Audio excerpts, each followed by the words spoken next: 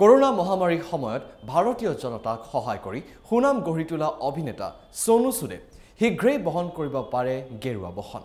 হয় আপুনি চাই আছে Prag face of the day মই আছোঁ আপোনাৰ সৈতে সৌৰভ আৰু আজি প্ৰাগ ফেচ অফ দি ডেত আমি কথা পাতিবলৈ ওলাইছোঁ অভিনেতা সোনু চুডৰ বিষয়ে।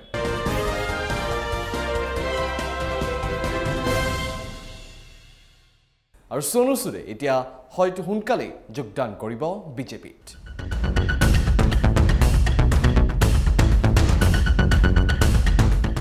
বাতৰি অনুসৰি অভিনেতা সোনু চুডে ভাৰতীয় জনতা পাৰ্টীৰ ৰাষ্ট্ৰীয় সাধাৰণ সম্পাদক বি এল সন্তোষক সাক্ষাৎ কৰিছে।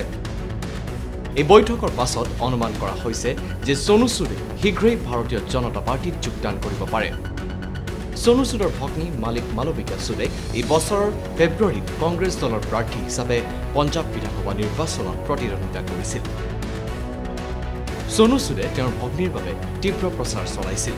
সোনু চুডৰ দ্বাৰা শক্তিশালী প্ৰচাৰ চলোৱা স্বত্তেও তেওঁৰ ভগ্নী মালবিকাই তেওঁৰ আসন জিকিবলৈ ব্যৰ্থ হৈছিল। যদি সোনু চুডে ভাৰতীয় জনতা পাৰ্টীত যোগদান কৰে ই দলটোক পঞ্জাৱত নিজৰ স্থিতি অধিক শক্তিশালী কৰাত সহায় কৰিব।